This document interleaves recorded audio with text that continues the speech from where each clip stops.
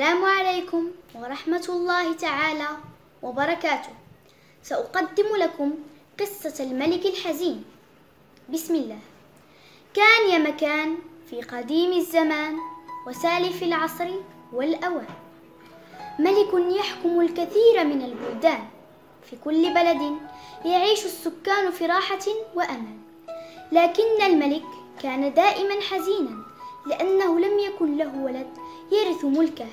رغم أنه تزوج عدة مرات لكن لم يرزقه الله بولد يحمل اسمه ولا بنت تحفظ أسراره. كان الملك رجلا حكيما طيبا وكريما. لم يبخل أبدا عن شعبه الذي كان يحبه كثيرا ويكن له الاحترام والتقدير والإجلال. في يوم من الأيام خرج الملك للصيد كما العادة. مع عدد كبير من الجنود لحراسته وحمايته. وبينما هو في طريقه للمناطق الجبلية حطت عيناه على فتاة عشرينية ترعى الغنم لكن جمالها الفتان جذبه مما جعله يتقدم إليها. خاطبها كعادته بكل أدب واحترام وطلب يدها للزواج.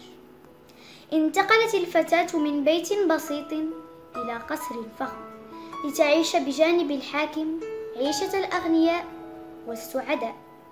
لم تمر إلا تسعة شهور حتى رزق الله الملك طفلا جميلا يشبه أمه فعمت الفرحة القصر واكتملت سعادة الحاكم. كبر الولد وصار شابا يافعا قويا يهابه الجميع. فلم يرث من أبيه شيئا لا طيبته ولا كرمه. مات الحاكم وتولى ولده الملك.